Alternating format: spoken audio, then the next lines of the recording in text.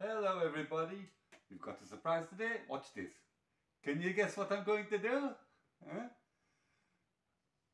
They're not my ears, not really. We're going to make sisig. Yep, I'm going to try sisig for the very first time. So what I'm going to do first boil your ears. I'm going to boil your ears, that'll make them easier to cut, to chop up, okay? So I'll get that done and I'll be right back to show you how they look. So while my ears are in the pan ready getting boiled, I'll show you what else we're going to put in there.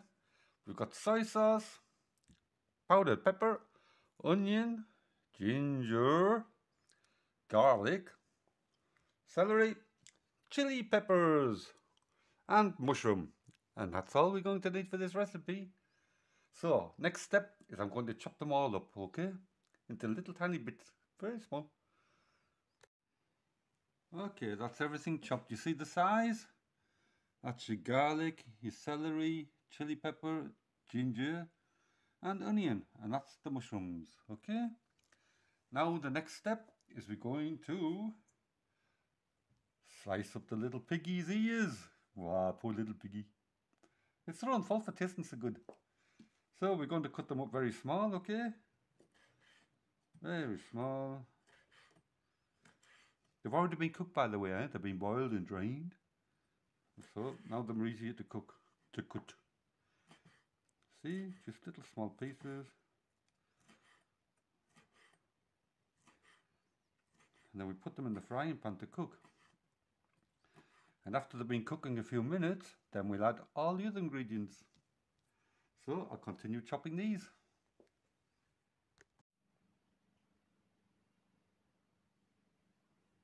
There you have it everybody. That's you chopped up piggy's ears. Imagine that's only two ears. So we're going to I'm going to fry that a little bit.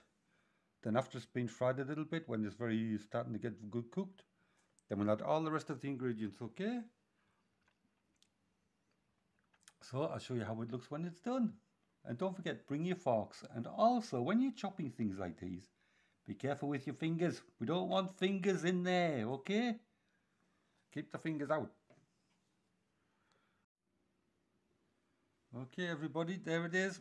This is my very first time to make sisig. So, give me your votes. Tell me how it smells, looks and tastes. Come and join me. Look, got lots to eat. There's your noodles. What to put with noodles. This is how it looks. My very, very first sisig.